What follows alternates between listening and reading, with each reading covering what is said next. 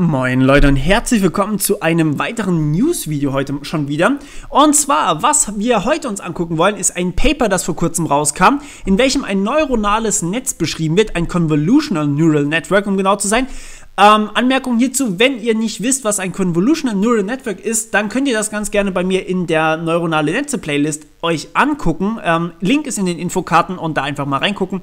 Ähm, ja, was macht das Ding im Endeffekt? Es nimmt ein Foto von einem Gesicht von jemandem und kann sagen, wie dieser Mensch orientiert ist sexuell, also ob er homosexuell, heterosexuell oder bisexuell ist zum Beispiel.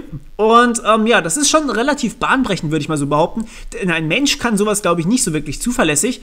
Und ähm, ja, ähm, da sehen wir auch wieder, wie mächtig neuronale Netze sind. Also ihr könnt das komplette Paper hier lesen, ist auf Englisch äh, logischerweise. Ich werde es euch jetzt äh, nicht komplett vorlesen. Wir wollen uns nur mal kurz den Abstract hier anschauen und was da genau drin steht. Das Ganze basiert auf Bildern, äh, das heißt, wir verarbeiten hier einfach nur ein Foto vom Gesicht desjenigen und können mit 80%iger Wahrscheinlichkeit in, äh, bei Männern und bei 71% Wahrscheinlichkeit für Frauen feststellen, ob sie heterosexuell oder schwul sind oder lesbisch in dem Fall.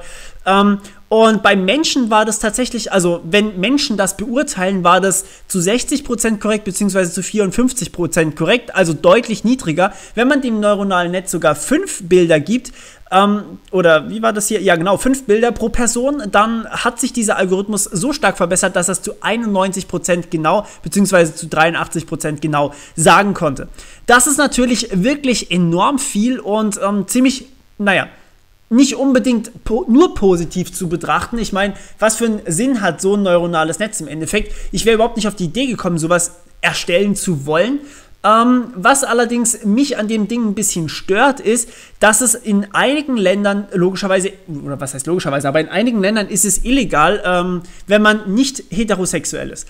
Und das bedeutet, man hat hier wirklich auch ein neuronales Netz, das wirklich zu dem Tod von manchen Menschen führen kann. Und deswegen möchte ich hier ganz stark an euch appellieren, wenn ihr ein neuronales Netz schreibt, dann denkt drüber nach, was das für Folgen hat. Also hier, kann's, hier wird teilweise Homosexualität wirklich, also nicht hier in Deutschland, aber in anderen Ländern wird Homosexualität mit dem Tod bestraft. Und ähm, ja, da ist so ein neuronales Netz schon ziemlich brutal, würde ich mal so behaupten.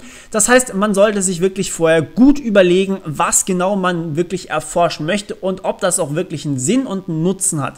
Ähm, ja, für denjenigen äh, oder für diejenigen, die sich äh, angucken wollen, genauer hier, hier ist wie gesagt das komplette Paper, könnt ihr euch komplett durchlesen.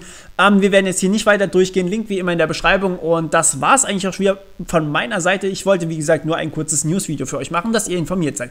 Cool, ähm, dann hören wir uns beim nächsten Mal und ja, bis dann, ciao.